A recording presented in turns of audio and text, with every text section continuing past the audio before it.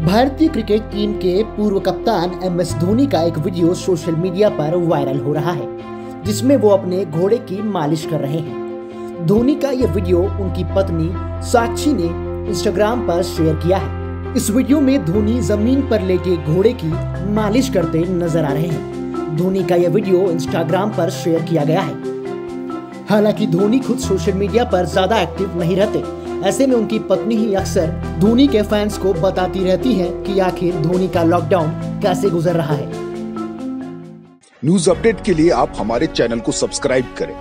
आप हमें फेसबुक और इंस्टाग्राम पर भी फॉलो कर सकते हैं। बने रहे लगातार डॉट इन के साथ।